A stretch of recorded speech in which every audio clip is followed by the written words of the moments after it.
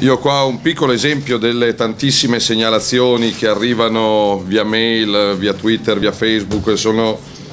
le prime tappe che andremo a seguire. Ci, in stazione Tiburtina ci sono già stato, io ho chiesto ai nostri candidati dei municipi un progetto concreto per municipio. Se noi non presenteremo il programma con 78 cose da fare, tutto più bello, tutto più verde, tutto più pulito, abbiamo visto che fine hanno fatto le promesse degli altri, compreso quelle di quel poveretto di Marino. Quindi stazione di Tiburtina ad esempio c'è un ettaro di area verde di proprietà della Regione Lazio, quindi proprietà pubblica abbandonata da anni,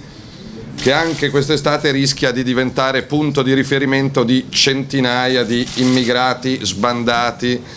eh, ciabattanti di ogni genere. Quindi una situazione politica normale prevede che se in un'area pubblica lì ci fai un parco, non ci fai una giungla dove tutto possa succedere, così come cercheremo di essere nel palazzo di via Curtatone da tempo immemore occupato anche in questo caso da centinaia di eh, senza titolo. E le stazioni rifugiati è un punto di vista, rifugiati è veramente soggettiva come idea, visto che sono il 3% quelli che vengono riconosciuti come rifugiati, quindi per quei 3 su 100 sì, sì, sì, va bene. Allora, i, i, palazzi occupati abusivamente da me, da lei o dal rifugiato non esistono sulla faccia della terra. Soprattutto all'uscita di una stazione che è il biglietto da visita di una città. Non è possibile, questo vale per Milano come per Roma, che le migliaia di turisti che arrivano, prima, il primo approccio che abbiano con la città è la schifezza, è l'occupazione, è la sporcizia, è il degrado, è l'illegalità non deve esistere neanche nell'ultimo dei quartieri più lontani dalla stazione, men che meno là dove tu offri il tuo biglietto da visita. Al prossimo, questo vale per Bologna, per Milano, per Torino per Firenze. Soprattutto periferie, ci sono una marea di segnalazioni delle zone dimenticate dalle passate amministrazioni, dico dalle passate amministrazioni perché evidentemente i problemi di Roma non nascono quest'anno, l'anno scorso, due anni fa, ma una città che riesce ad accumulare un debito di 12 miliardi di euro evidentemente ha avuto amministrazioni non particolarmente oculate e brillanti negli anni. Quindi noi ci proponiamo di entrare in Campidoglio per far pulizia, con tutti i nostri limiti per carità di Dio. Eh, per quanto riguarda il patrimonio culturale, ha detto Irene, eh, la politica al ribasso, gratis per tutti, poco per tutti, non porta lontano e questo vale per tutto il patrimonio museale, culturale, architettonico italiano, mi sembrerebbe più intelligente far pagare qualcosa e valorizzare al meglio queste strutture, invece di far finta di renderle disponibili a tutti lasciandole cadere e crollare. Situazioni di vita reale come quella che ci siamo impegnati mi incuriosisce questo modo di fare giornalismo a commento. Ci sono gli spazi per le domande alla fine. perdone, ci sono gli spazi per le domande alla fine. Se lei ha a cuore i rifugiati, facciamo una bella conferenza stampa dove diciamo viva viva i rifugiati, io e lei, e vediamo numeri alla mano chi ha ragione. Il problema di Roma sono i romani, non i finti rifugiati che hanno strarotto le palle perché il 3% di persone che scappa dalla guerra deve essere accolto non negli stanzoni abusivi, ma in un salotto, quel 3%. Gli altri 90 biglietto di solo andata per tornare da dove sono arrivati. Questo è il mio personalissimo punto di vista applicato in tutto il mondo civile. Detto questo, ci troveremo a parlare del problema dei rifugiati. Io oggi sono qua a parlare del problema dei, di alcuni milioni di cittadini romani che sono accoglienti, solidali ma non fessi sono generosi ma non fessi, fanno volontariato come tanti altri, vanno all'Avis, all'Aido, in parrocchia e nei centri sportivi ma non sono fessi, perché di essere scippati in metropolitana dalla mattina alla sera o di essere importunati fuori dal supermercato, fuori dall'ospedale, fuori dal parcheggio, non se ne può più. Ci sono le 2000, i 2000 insegnanti precari degli asili nido che fra qualche settimana rischiano di essere precari a vita e chi si è visto si è visto anche qua perché il mix di buona scuola di Renzi che è una boiata pazzesca per citare Fantozzi e di disinteresse comunale porta la struttura educativa di Roma sostanzialmente allo sbando, però io ho chiesto un progetto per quartiere, questo chiedo, evitiamo i, i 120 buoni propositi che poi finita la campagna elettorale tanti saluti, me ne bastano 15. Non grandi, ecco, a me piacerebbe che Roma fosse la città delle Olimpiadi del decoro, non delle Olimpiadi farlocche che arricchiscono qualcuno perché stiamo ancora pagando i debiti di grandi iniziative mondiali dal nuoto ad altri eventi sportivi, quindi i grandi eventi lasciamoli fare altrove, qua mi piacerebbe le Olimpiadi delle strade senza buche per evitare di farla Parigi-Dakar e quindi mm, ci accontentiamo di molto meno. Un sistema di viabilità, a mio avviso, demenziale, demenziale che penalizza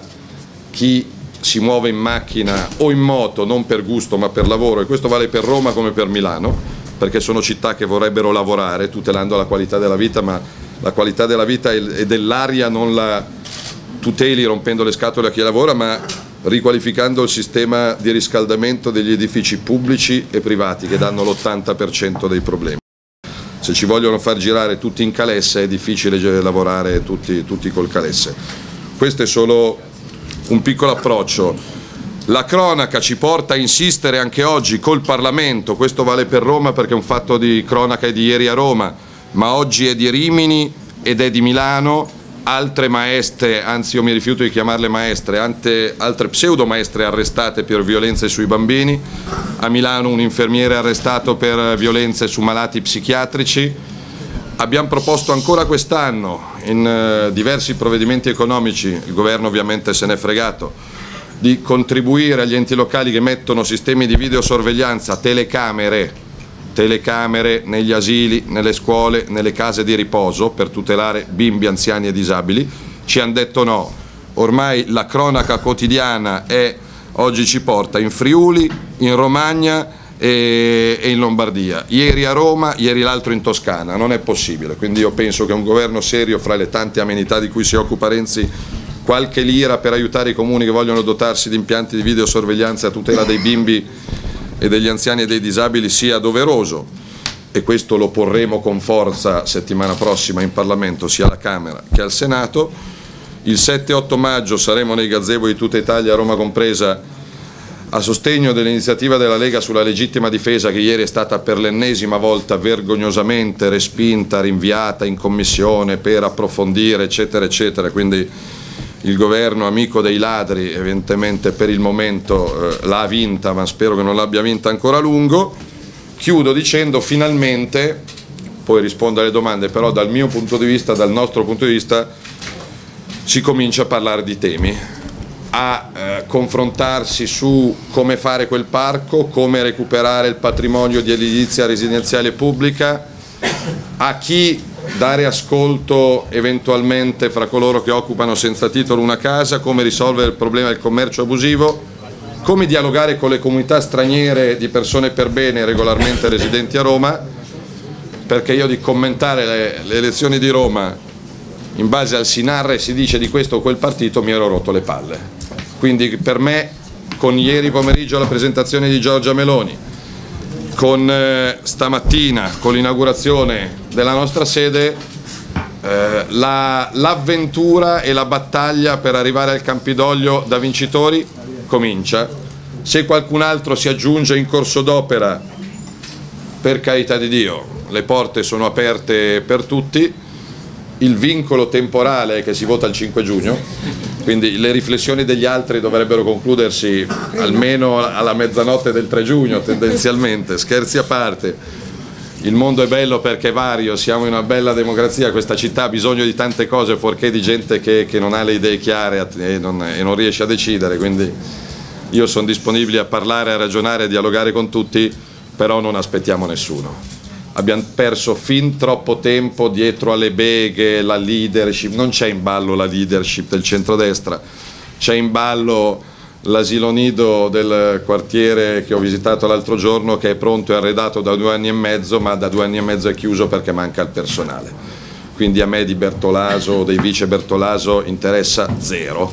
zero. C'è un progetto politico, c'è un candidato sindaco, c'è una squadra, ci sono almeno altre due o tre liste civiche, ci sono tanti romani che, che, si avvicinano per la prima volta alla politica, le liste Lega, noi con Salvini, saranno composte al 90% da gente che non ha mai fatto politica nella sua vita e questo per me è motivo d'orgoglio. Tutti sono i benvenuti, però non possiamo costringere nessuno a fare qualcosa contro voglia. Quindi chi vuole vincere sa che questa è una sede che vuole vincere e che Giorgia Meloni è una candidata che vuole vincere. Chi vuole giocare a perdere ha un intero spazio politico da un'altra parte.